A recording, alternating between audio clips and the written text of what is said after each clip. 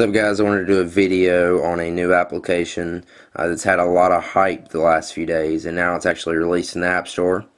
Uh, you can download this, links in the description, or you can just go in the App Store and download it. Uh, and this app is Skype for iPhone and iPod Touch. If you don't know, this is a desktop application uh, and it'll let you call people from on residential business. Uh, you do need credits for that, which you have to pay for.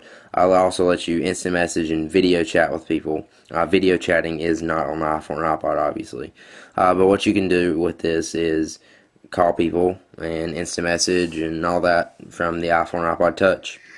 Now, uh, since this app has had so much hype and a lot of people probably going to be doing reviews on it, I wanted to make mine a little bit different and uh, show you a little trick with this. As I said, you do have to pay for credits on uh, Skype, but what you can do, as you see, I have no credits for Skype credit. Uh, you can call people for free, and there's two numbers that you can do this for. Uh, one is Google 411, which is 1-800-GOOG 411 and the other is 1-800-FREE 411. I'll have these in the description. Um, I would recommend using the free 411. You can call residential business uh, phone numbers, and it's 100% free. And I will show you that. As you've seen, I had I have no Skype credits, so let's go ahead. I do 1-800. Make sure you still have the plus in there. 373 3411. Which, if you look at the keypad uh, it does spell out free 411 and then we're going to hit call.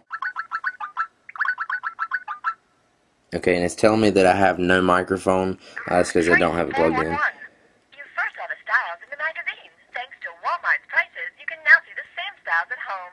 The Better Homes and Garden collection now at Walmart. Save money live better. Walmart. Main menu.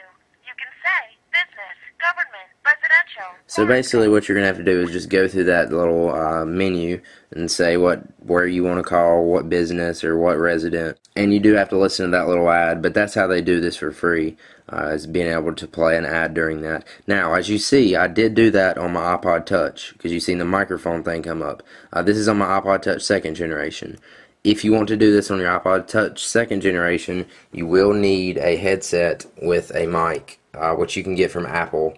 You can pick it up at the Apple store. I would have did this on my iPhone. You can't do this from the iPhone. Uh, I would have did it on it, but my iPhone is up to the 3.0 software, and it was giving me a lot of problems. Uh, and as you see, Skype just crashed on my iPod Touch, so it is a little bit buggy.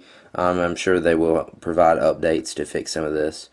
Uh, but doing a reboot of your iPhone or iPod should help that. So I wanted to show you guys this. Not going to really do a review of the app. You got your contacts, your chats, your call or dial pad. And you can also hit the contacts button to see your contacts and give them a call if you have Skype credits. And yeah that's basically it guys. I hope you enjoyed this video. And yeah thanks for watching. Don't forget to rate five stars.